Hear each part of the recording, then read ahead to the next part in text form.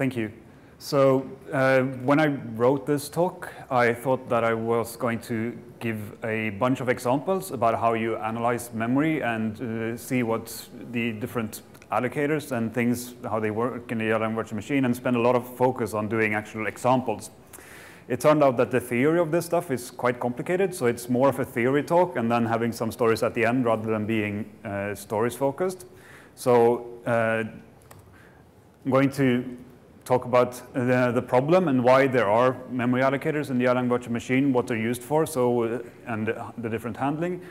Going to go all through all of the different concepts with the memory allocators so that you get the terminology right, so that you know uh, the different uh, options you want to set and so on and so forth, and get to know what the different things you're talking about when you're talking about blocks, when you're talking about uh, carriers, and so on going to have a look at the statistics that you can gather. There's a lot of statistics, and the main reason for we, the reason why we have the allocators implemented the way are is because we can gather the statistics about your system and try to figure out, okay, is this an optimal way of your using your memory? And we're going to have a look at two different uh, cases where we've been looking at the statistics that we can get from the memory allocators, making modifications, and hopefully making the system work better. Uh, and at the end, we'll have a look at some of the new features because there's a lot of development happening with the allocators. We spend a lot of time optimizing these things and trying to shrink and get the fragmentation to become smaller and uh, smaller. So the reason why we have uh, memory allocators in the Erlang virtual machine, so the memory allocators are there is because the normal uh, malloc and so on are relatively small, uh, relatively slow for very small allocations. So when you're allocating some small ETS object somewhere, it's quite a uh, heavy operation to have to do a syscall and go all the way down. So we kind of cache memory up in the virtual machine. Also, in order to battle fragmentation, we use different strategies for how to allocate data. Allocating something like a module is something that where you, okay, so you want to spend a lot of time finding the correct place to allocate that memory, but allocating something like a message being sent to another process, you don't want to spend as many CPU cycles trying to find the perfect place in memory because it will be deallocated when you receive the message. So we have different strategies depending on what type of uh, memory that we're allocating. Uh, also, there's no way to get the statistics in a cross-platform manner that we want to have out of the allocators if you want to just use malloc or something like that. If you want to try on your system and run it without the Erlang allocators and just use malloc uh, from the beginning, you pass that flag to the Erlang virtual machine, and it will disable everything. And then you just run a normal malloc. Sometimes uh, this is faster. I was uh, looking at a benchmark uh, that's called eStone, and was going to see, okay, so how much faster is, are these allocators? And I switched them off, and the benchmark went faster than using the allocators. So it's not always, but that's what you get for synthetic benchmarks. In real production environments, they help a lot. Uh, there's another benchmark that I've been running for to do uh, 4G telephone benchmark thing. And there, it's about 50% speed up to using these allocators rather than using uh, malloc and so on. So in real world applications, it's usually better for small benchmarks the overhead sometimes beats over. Uh, the allocators also help a lot when you're doing uh, NUMA, so lots of cores and lots of things.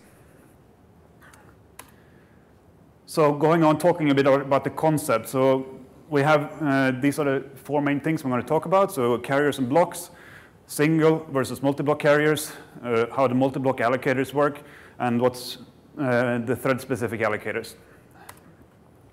So talking about a block, so this is terminology so that we can talk about these things. A block is one continuous piece of memory that the Erlang virtual machine needs. This is something like, for instance, when you do a ets insert, that piece of data becomes a block. A heap and a stack of a Erlang process is a block. A message being sent to, from one process to another is copied inside a block. So it's a continuous piece of C memory. Uh, we have carriers. Carriers is something, a container that contains one or more blocks. So we have something looking like that. So we have a header saying, okay, so this is a carrier of this type uh, with these settings and so on. And we put the block into it. And as we continue with more operations on the ETS table, we put more and more data, hopefully in a good place, into the block. and then we delete something, and we get fragmentation. And we might end up with something looking like this.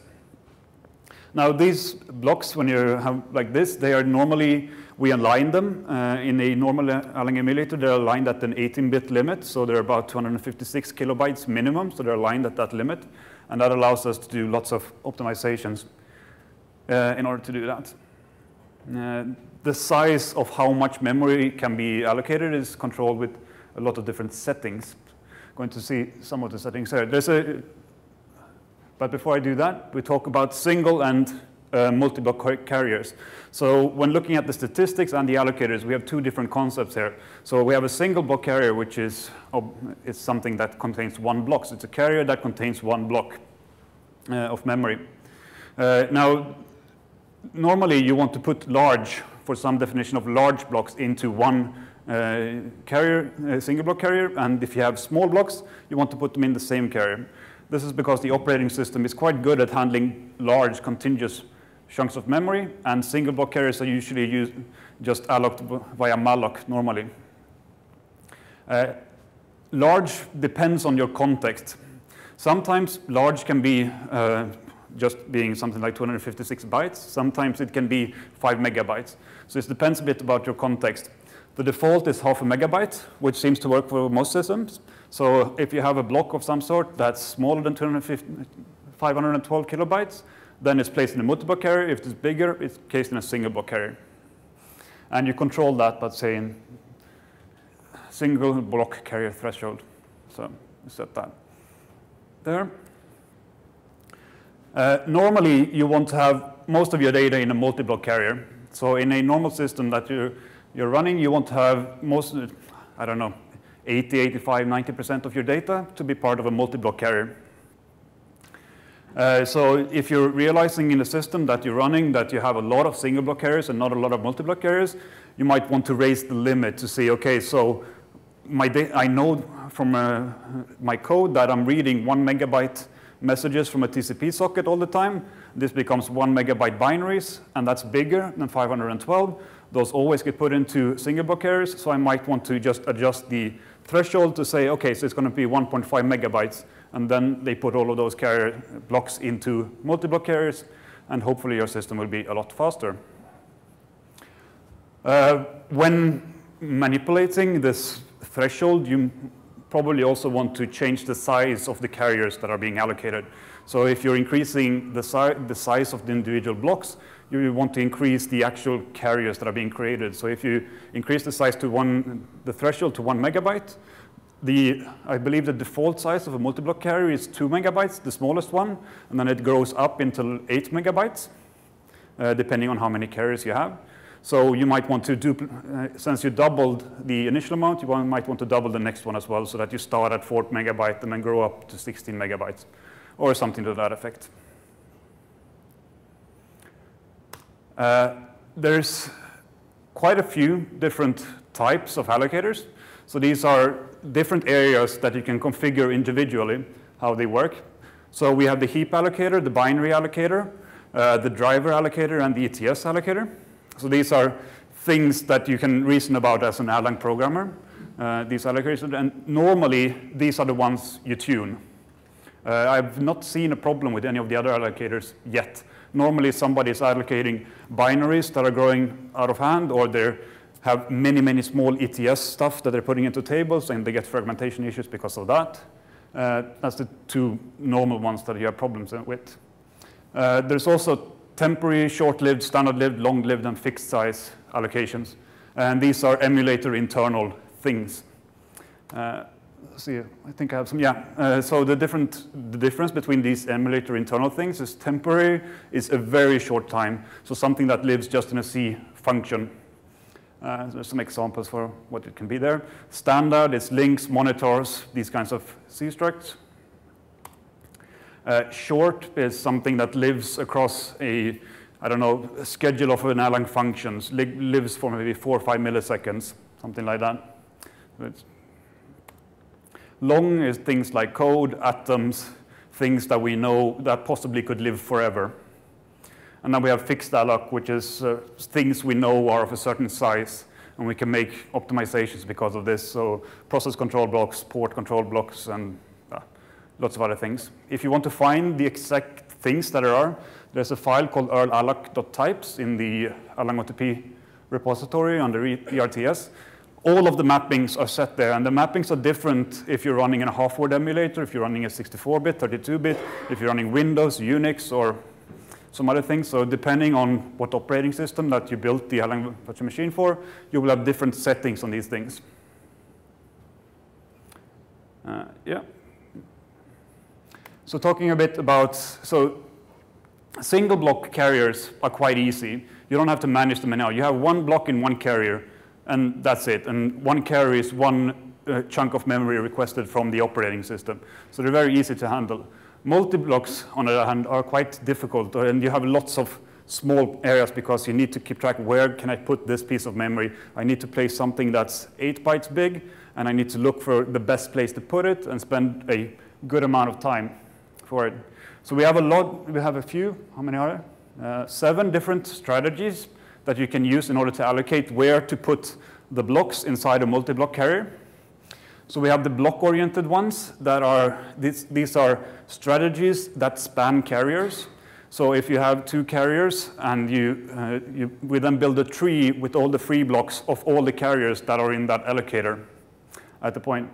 And we have best fit is just, well, it's the best fit. It looks for the one with the least waste. So if you have a block that's eight bytes and you find a slot that's nine, and the next smallest slot is seven, then you put it in a nine slot and so on. Uh, address order best fit works in the same way, only that if there's a tie, it uses the one with the lowest address rather than just taking the one that was put in the queue last. Uh, address order first fit tries to take the one with the lowest address that it can fit in. Uh, good fit takes the best, or a good fit to do it. You can tune with uh, settings what uh, you define as a good fit. So if you say that, okay, I'm, it's okay if it wastes 10% of the block. So if I have something that's 10 bytes big, then a good fit is something that doesn't waste more than 15 bytes. So something like that. So you can tune what you want to have a good fit to be. And a fit is mostly used for these temporary allocations that are really, really fast. So just finding something. We have the carrier-oriented ones. These are broken down so that you have, first you have a strategy to say how the carriers are organized, and then you have a strategy saying how the blocks within the carrier is organized. Uh, I'll get into, I think I'll get into more details about exactly how that works before. I have a picture here saying a small example about how best fit works. So we have two carriers.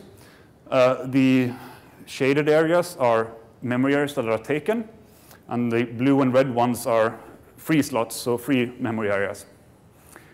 We build a tree looking something like this uh, of the different uh, carriers saying, okay, so we do a binary search tree. So this is, uh, I think it's a red-black balanced binary search tree that you look for the blocks in.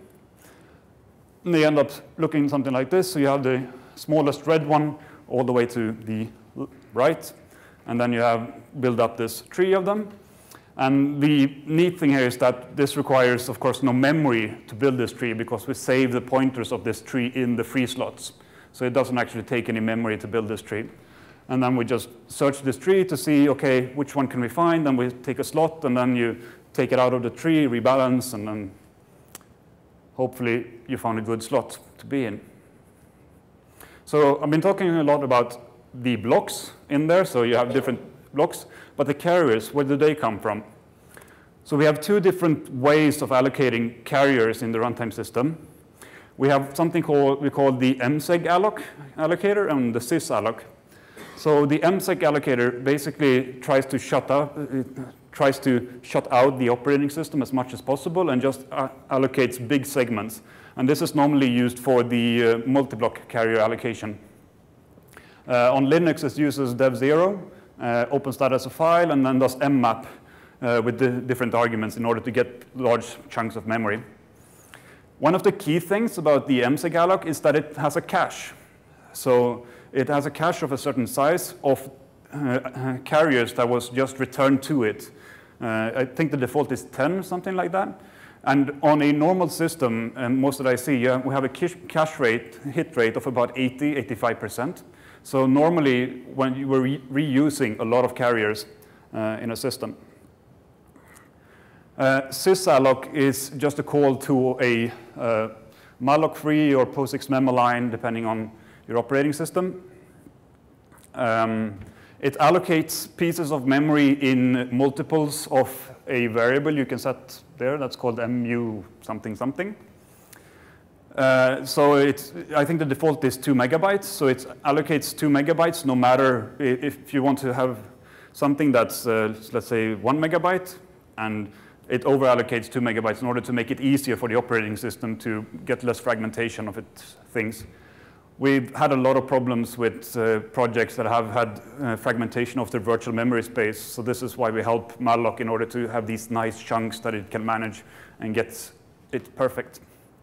Sysalloc is also used to allocate what we call the main carrier. The main carrier is the initial carrier, so the first one that's always there during startup. The idea with the main carrier is that you have a sufficient memory in order to do a normal boot up of an Erlang emulator without doing any extra allocations in order to speed up uh, starting something. Uh, okay. Uh, so another picture, and now we're getting into uh, different schedulers. So here we have a picture of, yeah, we have short-lived alloc, heap, binary, and all of the different things. They request carriers from msegalloc. All of these, we have one chain of these per scheduler in the system. So all of these are local. So you have one ETS alloc for scheduler one, one ETS alloc for scheduler two, et cetera, et cetera, et cetera. So they're all local, and they can take, a, take advantage of uh, the NUMA architecture of your system. So an allocation is always close to you, uh, et cetera. And these small mailboxes there say that if, of course, we have to pass memory around between schedulers, so if we want to do a free of something that we passed over, we have to send a message to that scheduler in order to do the free, because we don't have any locks at all on the actual allocators, because we want to these to be lock-free, so we're doing them via message passing between the schedulers the allocations. In, uh, was it R16B02, we added a carrier pool that's shared between the different uh, schedulers. Uh, you get access to this if you use the carrier-oriented algorithms that I was talking about before. Uh, so if you use something like the address order best fit carrier first fit block or something like that, you get access to this pool. This pool gets populated of carriers that are below a certain percentage of utilization. So if you have a carrier on scheduler N that has a utilization of say 20%, so it has quite a high fragmentation, then uh, that scheduler can give that uh, piece of carrier, that carrier to the pool, and somebody that needs a carrier, so if scheduler one needs a new carrier to allocate data in, it can take that from the pool rather than having that from somewhere else. Uh, you lose some of the NUMA things, of course, but you get better memory utilization, which is nice. Uh, for all of the async threads and all of the driver threads and everything, there's a global allocator that has a big lock in front of it, and all of the data gets put into there. So if, for instance, you're reading a file with binaries, those binaries gets put into this global allocator. Uh, let's see, yeah.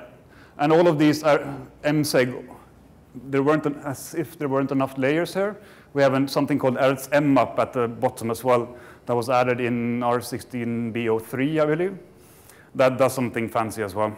Uh, if you want to know the details, just ask me afterwards. Uh, there. So that's a general theoretical background for these things. Uh, so getting statistics and trying to figure out what's wrong. So let's dig down into some of these things. So we had the different types of allocators, and they're called things like this when we're talking about the statistics part of them. Uh, so if you do Erlang system info allocator, you get information about which allocators are active in your system. It's not always the same, and it's definitely not always the same over releases. But doing this, you can get an information about what features are enabled in your system. You get all of the different settings that you've set in your system, so you can figure out what your threshold is or what your multiple carrier allocation strategies are, or things like that. And the features, like if you have an if you have a POSIX memalign in your system, if you can lock physical memory in place rather than trying to get the uh, Linux way of doing memory management in there, and lots of other things. Now you can dig into more detail uh, even more. So if you say Erlang system info allocator, and then put one of the types I had here in the previous slide, so eheap alloc, etsalloc, something like that, you get a list of tuples with lots and lots of data. Uh, you can see that we have first is structured in instances. So instance zero is the global allocator that's used for async threads. Instance one is for scheduler one. Instance two is for scheduler two, etc., etc., etc. For each instance, we have the version of the allocator used, the option set, statistics about the multi-block carriers, statistics about the single block carriers, and statistics about the calls made by the carrier. I'm going to break this down for you, and we'll see. So this is what you get out of the data. I put it in a table for you, so you don't have to read the data stuff. So what we get is that we get the current value, we get the maximum value of that part since the last call to get the statistics, and we get the maximum value of the system lifetime. Uh, and we can see the number of blocks uh, there. So we have so 1 million, 1 million, and 1.8 million blocks in there, and we get the total size of all of the blocks in there. I think I actually have a, yeah, see, there. So we have 820 megabytes there, 820 there, and we had a maximum when we had a peak of 3.3 gigabytes of memory. And we can see the carriers, we fit these uh, 1.6, uh, 1 million blocks into 455 carriers. And we can see the carrier sizes down there as well. Uh, a single block carrier would, of course, have the same amount of blocks that it has carriers. And we can see that the block size is 6620, but since we're over allocating a bit, the carrier size is 7.5 and 25. So uh, quite simple. The number of calls that you can see, you can see that we've done quite a few uh, calls. Let's see, yeah, so quite many. So it's 28,000 mega calls has been done to the binary alloc. So quite a few binaries have been allocated here. We've freed roughly the same amount, which is a good thing. Otherwise, we'd have the memory leak. And we've been able to reallocate some of them as well. And we can see that msegalloc has done 24,000 of the allocations, while sysalloc has done zero. So this is a good thing. There. Uh, so that's for the single block and multi-block uh, things. So you can also get statistics about the carrier allocators. Uh, we can get the number of segments, cache information, uh, seeing when we get an alloc, dealloc, and destroy. So here you can see the caching working. So you have mseg alloc calls 464 over there, while actually we've only created 40 carriers. So we have a quite a high cache hit rate there, saying that we've done 460 calls and only 40 of them ended up in an OS call. Uh, there. Okay. Uh, let's see. Yeah, I'm just thinking if, how much time I have, which seems to be plenty. That's good. So some case studies to see how you analyze these things and get this data once uh, you understand what they mean. So I've run across two cases. Uh, uh, well, I've run across many cases, but these ones are quite uh, useful for the open source community because you guys seem to run into them a lot more than uh, our commercial customers. Uh, so the first one I'm going to talk about is one I call large binaries. So there was this person that realized that, hey, I'm running strace, and I know that these allocators are supposed to be really efficient and they should be using mmap to allocate all my stuff, but for some reason, it's not using mmap, it's using malloc instead. It's using a lot more malloc. So if, when I started to, so I requested the statistics for the binary allocators uh, in there, and you could see that there was about yeah 300 megacalls being done to binary alloc, uh, and we have about 0.4 megacalls being done to msegalloc. So here we have a discrepancy because we want to have we want to have most of our stuff into the mseg allocator, not the system allocator, because mseg allocator means that we're using multi-block carriers, while the system allocator means that we're using single block carriers, mostly. Uh, and we can see here that we have a sysalloc call of 1.4 megacalls. So quite a discrepancy there. So this is when uh, Bell started whistling for me saying, something is wrong with these settings. So we, at this point, you can kind of reason out that, okay, so something is wrong with uh, seeing with how the threshold is set for which things are being put there. I know that this is binary alloc, so, some, so this person is allocating larger binaries than the actual single block carrier threshold for most of the binaries, and therefore they're pushed into single block carriers, uh, which is not as efficient. Uh, going back, we can see that the multi-block carrier size is about 2.4 uh, gigabytes, and the single block carrier size is 11 gigabytes of memory. So it's a big discrepancy. Normally, you wanted to have the reverse, if not even more in favor of uh, carriers uh, in there. So what can we do about this? So we want to adjust the single block carrier threshold somehow, but how should we adjust it? So looking at the statistics, you can also get the average block size that's in the single block carriers uh, in there. So you take the number of blocks and divide it by the total size of the uh, carriers, and we can see that the block size is about 1.68 megabytes. That is, uh, in this case, it was reading from a TCP socket in there. So now we have a block size that we know, okay, so this is the average block size. So we probably want to bit, go a bit over that size uh, when we're tuning the allocators. Uh, and in the end, we ended up setting it to two megabytes, which is a reasonable limit above there, and it's a nice clean number. Uh, so that put binaries that are greater than two megabytes into single block carriers, while it puts them that are smaller than two megabytes into the multi-block carriers. And thus, since multi-block carriers are being done by mmap, and you get the caching of the mseg and all that, the performance increase was quite good, I believe. And you also, of course, increased the largest multi-block carrier size and the smallest multi-block carrier size. That's what these two last ones say. For only the binary allocator. And this is where the strength of the Erlang runtimes allocators come in, because you can say that I only want these settings for the binary allocators. Because if you set these settings for all of the allocators, then you will have a problem, most probably with the ETS or something like that, where it over-allocates more memory than you really want in your system. So you can specify saying, I have a problem with only binary allocations, so therefore I put only binary tunings into, my, into the emulator. Okay, so second case that I was running into is uh, uh, was actually helping uh, Fred Hebert with a problem at Heroku, uh, which he wrote a big blog post about. So this is that, if you've read that blog post.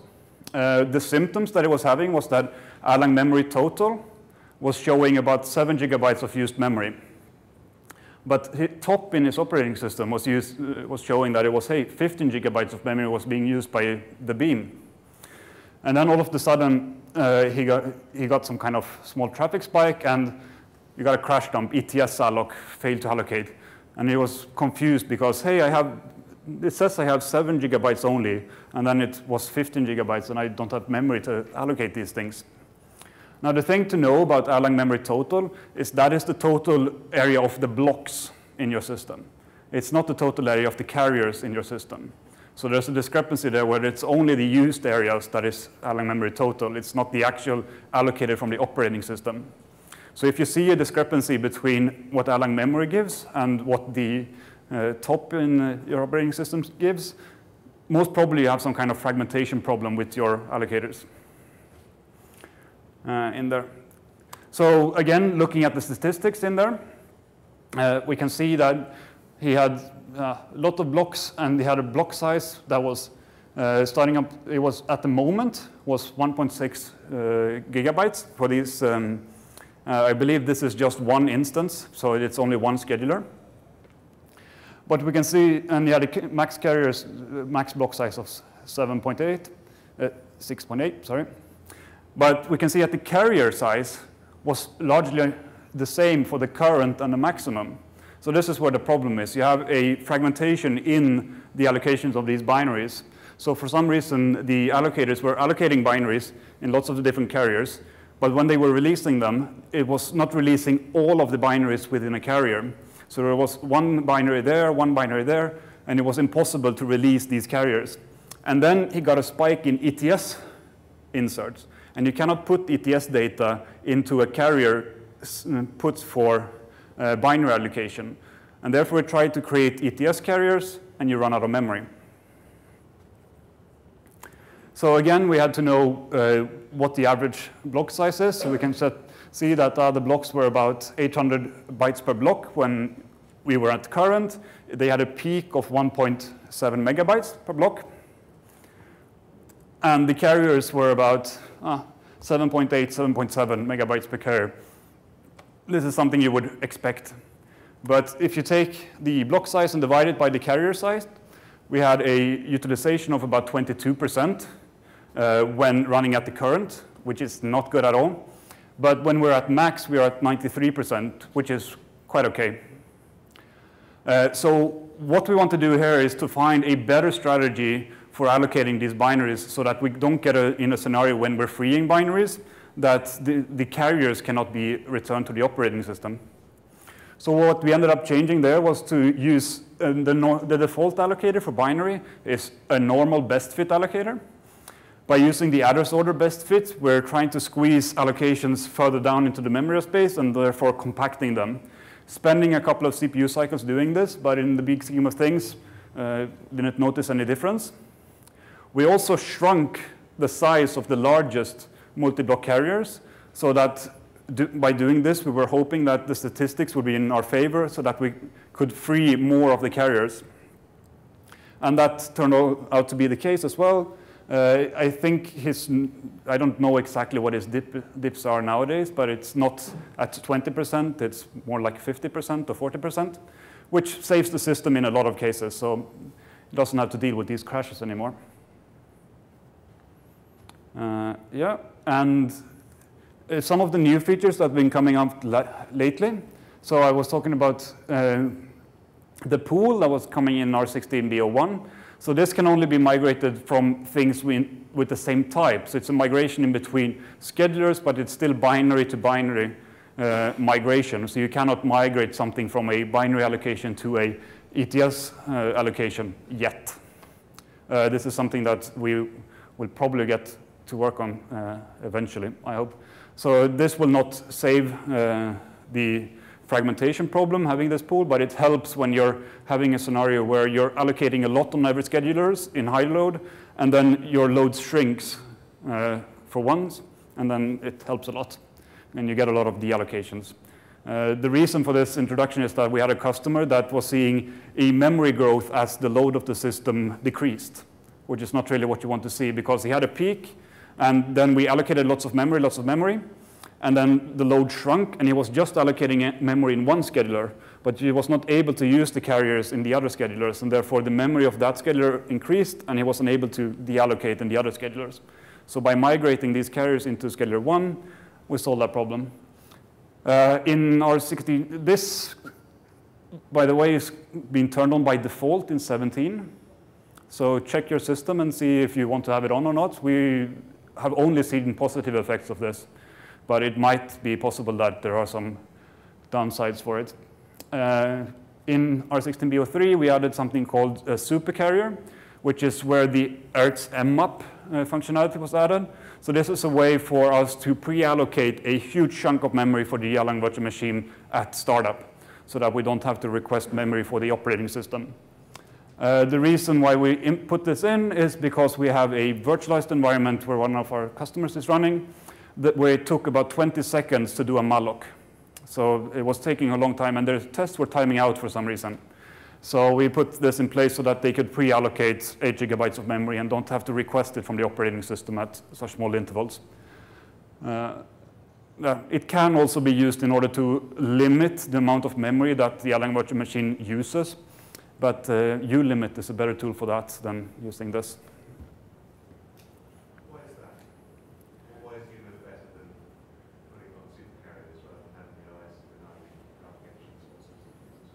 You get the same result, and uh, uh, I think the operating system in general is better at managing these th things because you kind of the reason why we use do single block uh, carriers as operating system allocations is because it can cheat by taking memory from caches and so on and so on. By if we're allocating things with uh, with uh, doing mmap, we don't get the caches that malloc uses and so on, so we don't get access to all of the memory that's in the system. So, but if you use ulimit, you don't get the downside, but you get the same benefits. Yeah, so I'm done with that. So questions? Yep. So the, the super there's only one super carrier for the whole Yeah. And, and how does that work with a NUMA architecture? Uh, so the question is, uh, uh, there's one supercarrier for each, uh, for the entire system, and how does that work with the NUMA architecture? I don't think we've done any benchmarks on that actually to see how that works. Uh, the implementation about how it takes carriers and so on, I'm a bit fussy about, so I'm not 100% sure. But it's it's some kind of taking on the same sides and allocating things.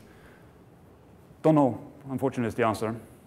Yes? So with the mi- migration of carriers, so you mentioned when uh, one s- scheduler remains active, it may just start mi- migrating from other schedulers.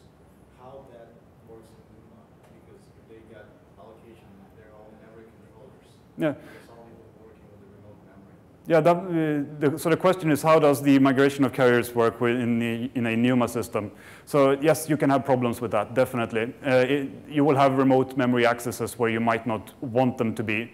But if you do not want to have this behavior, it's very easy to shut off, and then you, you don't have to deal with that. In systems that do not have a lot of uh, NUMA interactions with different things, it's just beneficial to do it. Uh, normally, you don't want to have the scenario anyway where memory is being al allocated and not released from these other parts uh, in there. So yeah, it's a I guess you have that problem with process migration between schedulers. and- Yeah. Yeah, well, as, as long as you do, when you do message passing or interacting in an environment, you, you cannot, the, we don't group things in NUMA nodes for processes in order to, for them to not have the overhead. And, and if you send a message from one process to something in another NUMA node, the memory of that message will remain in the original NUMA node. So you have a lot of these things uh, anyway. But tries to help out with the fragmentation point, points of it. So you mentioned that the skip, the allocator zero was for um, the drivers or something like that. And as you said, had S plus one through S, X allocated, then there was an S plus one. What was the S plus one for get used for? Well, the, so the question is what's the S plus one? So let's see if I go back to the picture, so see if I can explain that better. Uh, there we go. So, well, so I guess the S plus one that I was talking about is just one plus, that's the two one. So it, uh, and the third is zero. Uh, the, the thread pool is zero, and then you have one is the first scheduler, two is the second scheduler, and three is the third scheduler, and so on and so on. I might have made a mistake in the slides only if it's. No, there's nothing at the end uh, over there, so it just ends at the last scheduler. Yeah? So, um, do NIFs use the, dri- uh, the driver schedule, or sorry, the driver allocator, or do they have a different one they use based on the driver schedule or something like that? Uh, so the question is if the NIFs use the drive allocators? No, they use the heap allocators. You're allocating directly on the heap uh, for things when you're building stuff there. Of course, if you make a binary that's bigger than 64 bytes, it will end up in the binary allocator. But NIFs have the advantage of building stuff directly on the heap, which is why they're a bit faster when calling small stuff than drivers. The heap is the process that falls into it, so it'll be whatever allocator is on it. Yeah, unless, of course, you grow over the heap size, then it will create a heap, what we call a heap fragment, which is still part of the heap allocators, but it's a different memory area. Does that fragment get collapsed on garbage collection? or- Yeah. All of the fragments always get collapsed when you do a garbage collection. So, So, I mean, there- there's a tremendous amount of information here that you can get from the system that you're on the algorithms. Uh, and it seems like it requires kind of expert knowledge to take that information and, and translate it to settings. Are there any places to go and look at where, I mean, you're obviously applying a lot of rules in your head to say, well, I can see there's a lot of fragmentation here, I should change this. Is that written up anywhere? Is there some guidelines that people go and look for? Uh, so the question is, where can I find information about this stuff without reading the source code? Uh, yes, you can. Uh, without reading my mind, yes. Well, there are two other minds that you can read as well. Uh, but yes, uh, in part of getting, doing the work to, with uh, Fred to get the fragmentation problem, I was working together with him to, for his tool that's called Recon. And there's a module in there called Recon Alloc, uh, that does, does some basic analysis for you and tries to figure out what's in the system. And it has maybe seven or eight functions uh, there that analyzes different aspects of things, problems that we've encountered. Uh, we're trying to add more things to it, but what I find is that most of the problems that you encounter are unique. So it's like, yeah, this is, I, it's not like, oh, this is a general problem for everybody, because then it would be a general setting. But if it's a, it's almost always a specific problem that somebody is having because they've written their code in a certain way, and therefore this happens. But for these fragmentation parts and finding out if there's many single block rather than multi-block carriers in these things, there are functions in this library that can do that with a lot of documentation explaining all of this stuff. The documentation is almost better than the tool, I would say. So just reading the documentation explains most of the things that I did in my slides here. You're welcome. Any more questions? No? all right, thank you for your time.